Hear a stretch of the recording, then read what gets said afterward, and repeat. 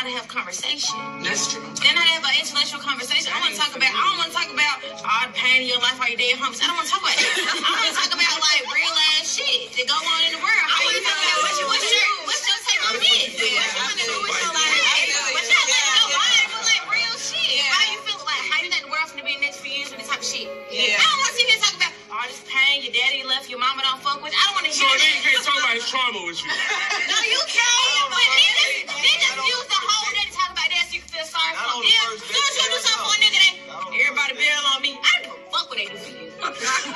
Oh my God. They can't talk about his pain with you.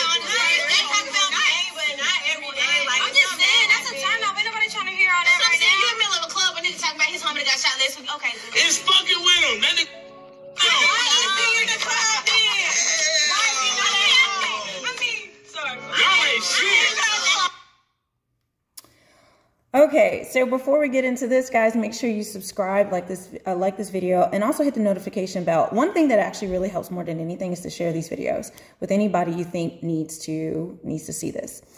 Um, so, uh, World Star is the cesspool gift that keeps on giving. Okay, it's like a toilet that just won't flush. It's like a stopped up toilet, and there is a constant influx of BS on there, and this is one of them. So I did a video um, the other day responding to Jessie Woo, who was talking about how men are emotionally unintelligent and not emotionally available. The reason why most men are emotionally unavailable, and emotionally unintelligent, as she says, is this. You may think this is extreme, you may think that this is something that's out of the ordinary, but this is the mindset that I'm seeing so so much today of this generation, and honestly, even before that um, before this generation, let's be honest, somebody had to teach them how to behave like this. But what is happening is when a man is opening up or he's telling you his feelings, when he's, ex, you know, expressing himself and literally, I mean, these women are talking about, he's talking about his friend who got shot or issues that he's had growing up with his dad and how he's feeling. Look at what they're saying. They say, I don't want to talk about that BS. I want to talk about some real ish going on in the world. Like what? Does anybody think these women are talking about world affairs, talking about what's going on in Afghanistan? They're talking about how to, you know, build schools or how to solve hunger or, or poverty, how to. You think they're talking about this, or they're talking about? I want to talk about what happened on Love and Hip Hop. I want to talk about what happened on uh, Keeping Up with the Kardashians. I want to talk. The, are these are these really the the the Rhodes scholars, the the the women who are the movers and shakers of, of industries and, and, and, and education and, and that these women are able to even eloquently um, have conversation about real topics and real issues from a place of understanding, a place of practicality, a place of critical thinking? Absolutely not. And this shows the callousness of so many women today where they will say, you know, open up, talk to me. But then look at how they're treating them. And a lot of times a woman will listen, but then she'll be dismissive of it. Well, you know, all right, they don't really have anything to offer when the man does open up. There's no real advice. And or she won't even listen. So then as soon as he starts talking about something, she starts injecting herself into the situation. She starts injecting what she's been through or trying to solve his problem. And a lot of times men just want you to listen. And I've had to learn this because we as women, we're used to kind of like, as women, we'll be talking to each other and just go back and forth, back and forth. Girl, you think so? I don't know. And what that? And we're used to that type of conversation style. But so many of us have not learned one, how men communicate, two, how men express emotions, three, what a man needs from you when he does that. And four, how to be a comforter, nurturer, and caretaker of a man's emotions. Why would a man express anything to women like this? And you may say this is an extreme example. No, there were like even celebrity women saying stuff like this. That's all about her, all about her bag. And let's be honest, what are these women talking about? Getting flued out a bag with the latest City Girl song? Like these are not people thinking on some higher plane, some higher level for the most part. Or it's about her problems. See, when she comes to you with her problems, what happens? It's almost like you're held hostage until she gets it all out. You, she, you have to sit there, listen, and, and, and, and, and hear everything she has to say. And if you dare move, if you dare don't listen, if you dare want to do something else, if you dare don't engage in what she's talking about, oh, he's a dog, or you don't listen to me, and all this other stuff. And then what happens when they break up? What does she say? It's all his fault. He's not emotionally available. Because when he was talking about his stuff, you didn't have time for it. But when you talked about your stuff and he listened, but it wasn't the exact precise way you wanted him to, now he's emotionally unavailable. And this is the thing men are afraid to, not afraid, I don't want like they're fearful of women, but they are anxious, I think is a better word, of sharing emotions like that because it's belittled so much. Think about it. Where's an emotional outlet for men in this world?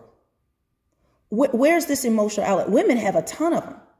Okay, we can express emotions, we can cry. I have a video where I was crying the other day because I, I feel like God was calling me to do this channel.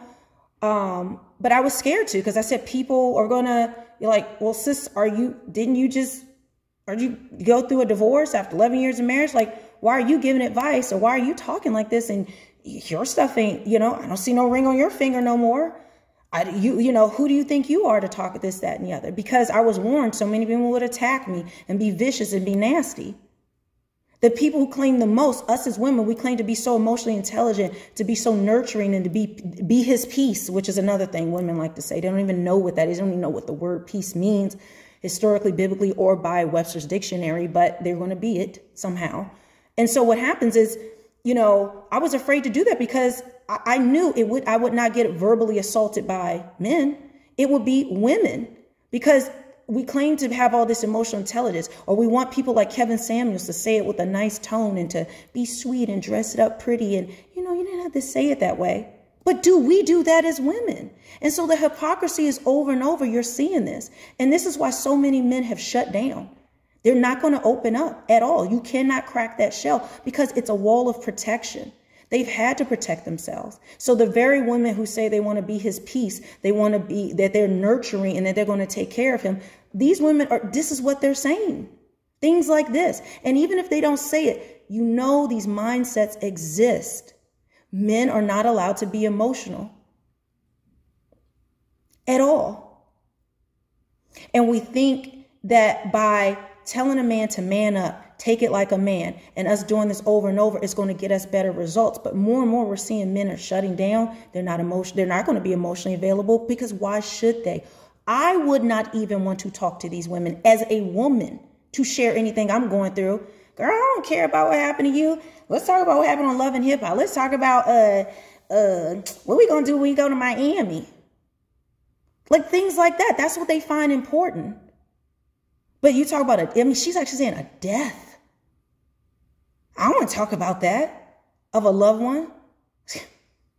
The abuse you suffered uh, as a child, I don't want to talk about that. How you feeling today? I don't care how you feeling. I don't feel good. And this is what we do because toxic feminism has taught women that we are queens, we are supreme. The way we feel, the way we think, what we do, there is no wrong to be seen in it. And if if anything goes wrong in a relationship, it's a man, he's not emotionally available, that we're just these, these bastions of light, these bastions of, of nourishment and, and, and care and um, fidelity to a man. And it's an absolute lie. Over and over, you can watch any TV show, you will see the toxicity the most is coming from our direction. And I don't know why women have been blinded by this. I claim it to the Jezebel spirit. And actually, if you're not a Christian, honestly, there's a lot of wisdom about this particularly about women like this in Proverbs. It is, I mean, it's almost like history rewriting itself over and over these cycles of women, which the Bible also warns about the wicked woman. It does not warn about the wicked man. There were wicked kings instances, but there's a general broad, there's a broad generalization in Proverbs about women being wicked till you get to the Proverbs 31 woman. And so, in this where this is where we are going to have to start having these conversations because this was absolutely cruel. This was destructive. And but this is the mindset that I'm seeing over and over that men can be verbally and emotionally assaulted and it's celebrated.